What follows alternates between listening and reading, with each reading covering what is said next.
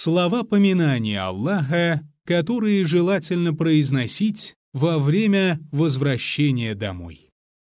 Передают, что когда посланник Аллаха, да благословит его Аллах и приветствует, возвращался в Медину после военного похода во главе войска или отрядов, или после совершения хаджа или умры, то, поднимаясь на каждый перевал или каждую возвышенность, он трижды произносил слова «Аллаху Акбар» — «Аллах велик», а потом говорил «Ла иляха илляллаху вахдаху ла шарика ля, лахуль мульку ва лахуль хамд, ва хува аля кулли шай'ин кадир, аибун таибун».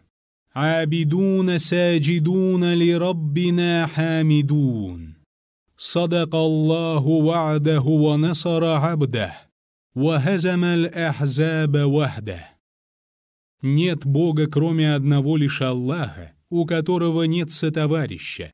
Ему принадлежит владычество, ему хвала, и он все может.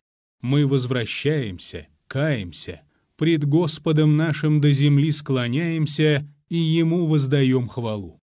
Аллах сдержал свое обещание и помог своему рабу, и Он один разбил союзные племена.